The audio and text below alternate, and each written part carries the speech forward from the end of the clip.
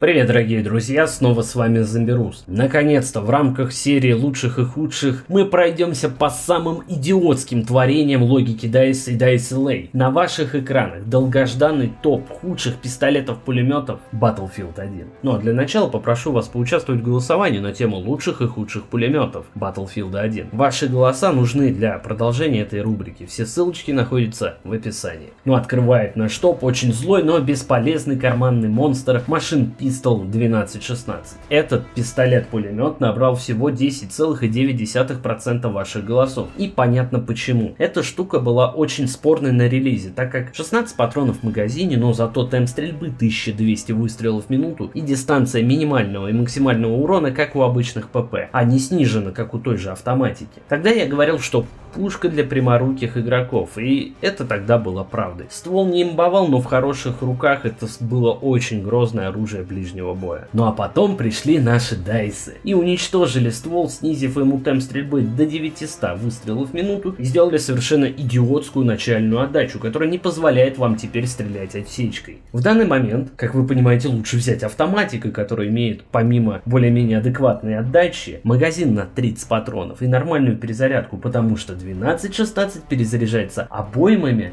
по 6 патронов или по одному патрону.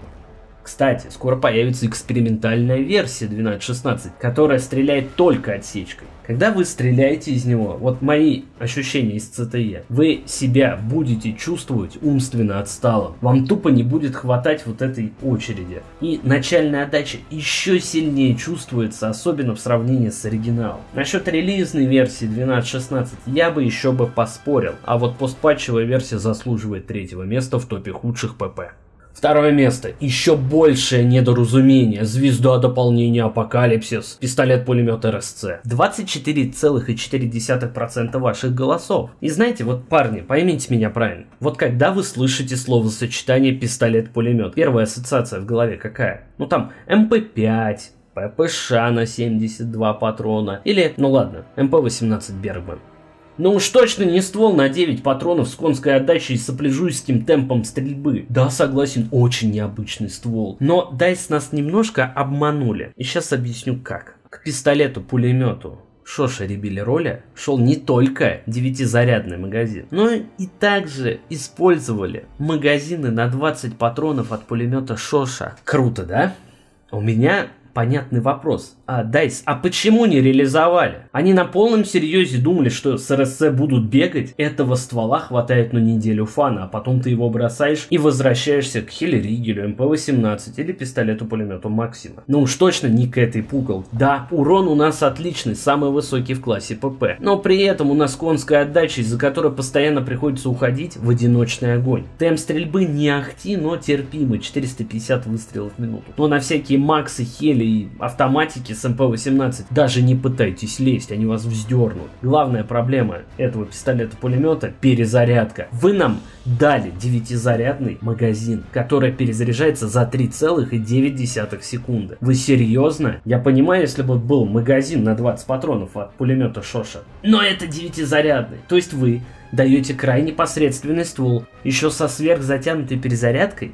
Дайс, а может вы там из файлов игры достанете тренчевый магазин? Для тех, кто не знает, так называется увеличенный магазин в файлах игры. И сделайте еще одну псевдо-бесплатную версию для покупателей DLC. Вы же можете, да? Чего стоит ваш глушак из альфа Battlefield 1, который скоро будет доступен платному стволу из DLC? Наивысшая степень логики Дайс вы пробили дно своей же логики.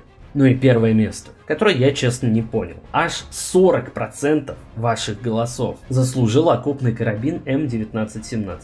Да, я этот ствол назвал плохим, но на то были веские причины. По своей сути, окопный карабин это маузер танкиста, но с магазином не на 20 патронов, а аж на 40. То есть в DLC нам подарили пушку танкист, которая и так есть в игре, только с увеличенным магазином, который опять же есть в игре. О боже, я раскрываю страшные планы DICE.